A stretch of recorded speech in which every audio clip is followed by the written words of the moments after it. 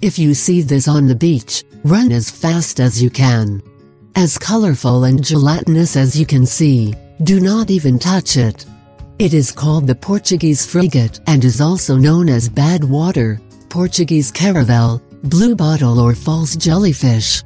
It has a very colorful appearance that could look attractive, but do not be fooled, since its sting is very painful and dangerous.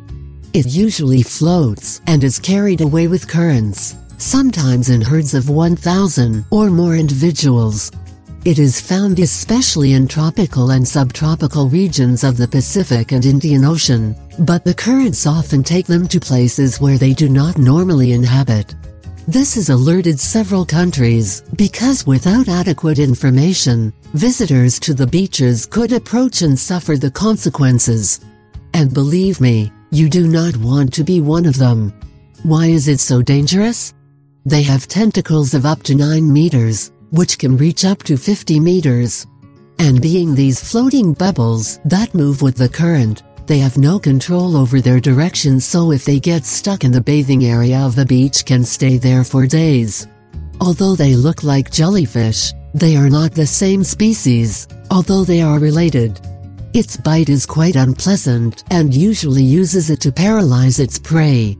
This causes painful hives and in some extreme cases could cause death.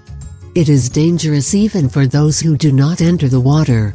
The complicated thing about the Portuguese frigate is that its venom remains on the beaches even days after they leave the area. They have caused alertness on many beaches that have even closed for certain periods. Generally you will find a warning on the beaches about the frigate, indicating that you should not get into the water.